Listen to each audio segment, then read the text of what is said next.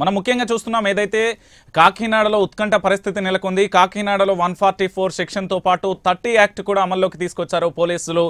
దాదాపుగా అక్కడ ర్యాలీలు కానీ సభలు కానీ సమావేశాలు నిర్వహించద్దంటూ కూడా పోలీసులు హెచ్చరిస్తున్న వైన మనం చూడొచ్చు. మరికొద్ది క్షణాలలో జనసేన అధినేత పవన్ కళ్యాణ్ విశాఖపట్నం ఎయిర్పోర్ట్కు చేరుకొని అక్కడ నుండి రోడ్డు మార్గాన కాకినాడ చేరుకోనున్నారు దాదాపుగా కాన్వాయ్గా దాదాపు ఇరవై ఐదు వెహికల్స్ వెళ్ళిన పరిస్థితి. మరి ఇలాంటి పరిస్థితులలో జనసేన అధినేత పవన్ కళ్యాణ్ కాకినాడలో అడుగుపెట్టే పరిస్థితి ఉంటుందా?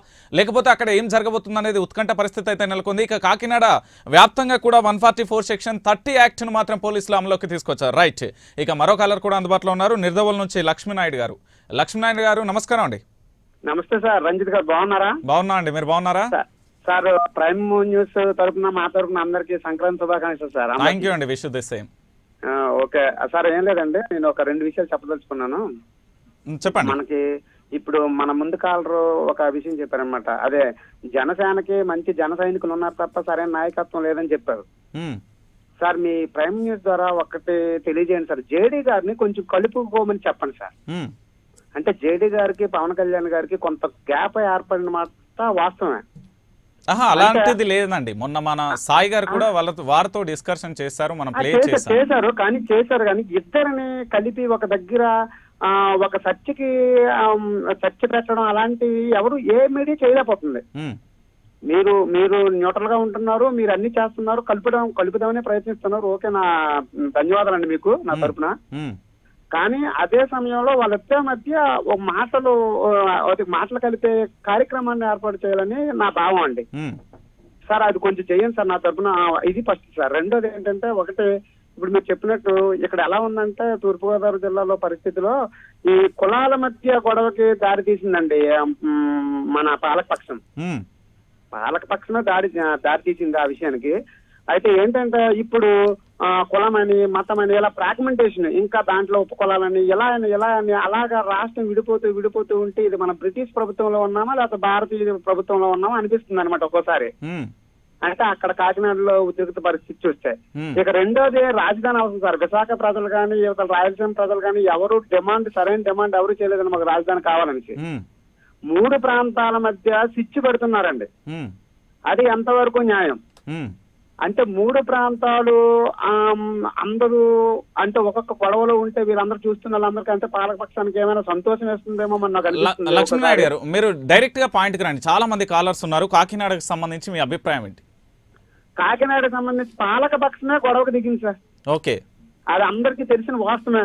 రైట్ ఇప్పుడు సార్ ఒక మాట. ఇప్పుడు నిరసన తెలిపే హక్కు అందరికీ ఉంది ప్రజాస్వామ్యంలో. అవును. ఉంది. ఆ నిరసన తెలపడానికి వెళ్ళారు వీళ్ళు. దానిపై రెడీగా సిద్ధంగా ఉండి దాడులు చేసే అవసరం ఆ పక్షానికి లేదు. అయినా సరే దాడులు చేసింది. ఈ రోజు ఉద్రిక్త పరిస్థితి నెలకొనేటట్లు చేసింది. దానికి ప్రభుత్వమే సమాధానం చెప్పాలి. అవును. రైట్ ప్రభుత్వమే పరిష్కరించాలి. రైట్ రైట్ థ్యాంక్ యూ అండి. మరో కాలర్ కూడా అందుబాటులో ఉన్నారు. ప్రకాశం జిల్లా నుంచి ఆ, సాంబశివరావు గారు. సాంబశివరావు గారు నమస్కారం అండి. నమస్తే అండి. చెప్పండి సాంబశివరావు గారు.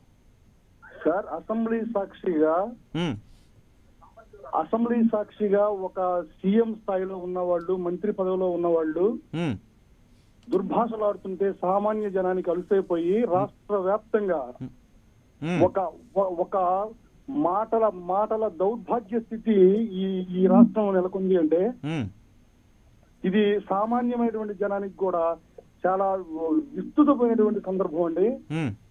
ఎక్కడ పట్టిన గ్రామ గ్రామాల్లో నుంచి పట్టణాల్లో నుంచి ఎక్కడ పట్టిన ఒక బీహార్ తరహా రాజ్యం వెళ్తూ ఉంది.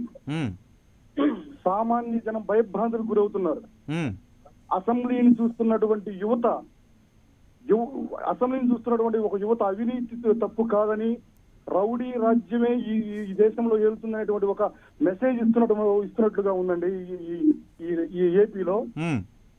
దుర్మార్గాలు జరిగాయి దోపిడీ జరిగాయి హత్యలు జరిగాయి మానభంగాలు జరిగాయి.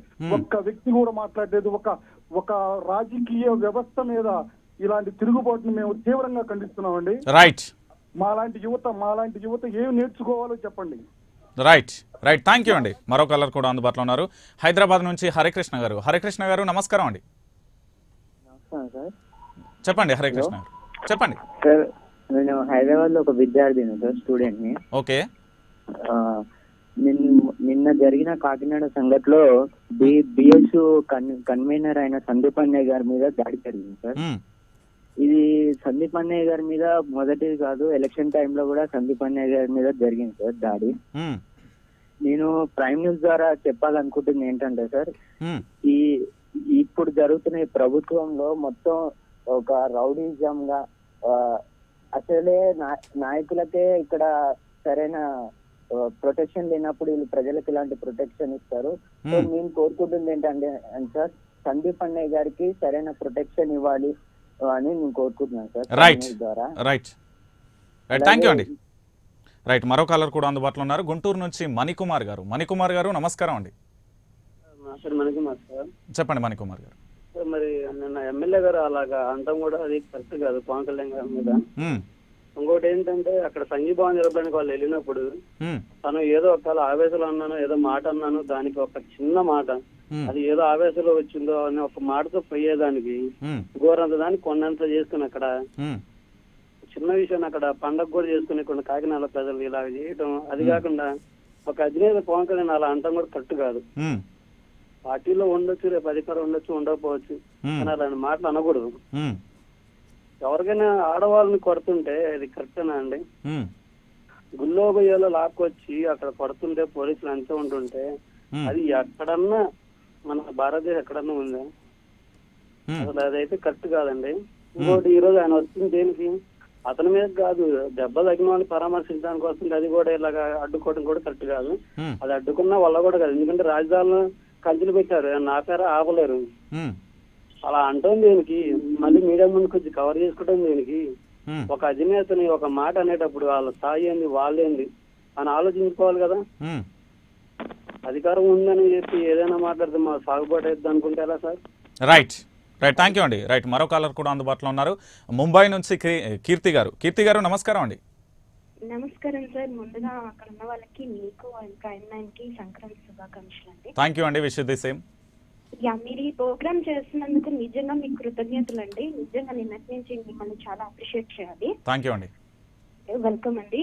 సో నిన్న జరిగిన మొన్న జరిగిన దాడి మీద ఈ రోజు ఎవరికైనా నిరసన నిరసన తెలియజేసుకునే హక్కు ఉంటదండి. ప్రజాస్వామ్యంలో ఉన్నందుకు నిరసన తెలియజేసుకునే హక్కు ఉంటుంది. ఉమ్, సో పర్టికులర్గా నేను దీని ద్వారా చెప్పాలని ఏమనుకుంటున్నానంటే ఉమ్, ఫస్ట్ వైసీపీ నాయకుల్ని వాళ్ళ తీరు మార్చుకోవాలండి.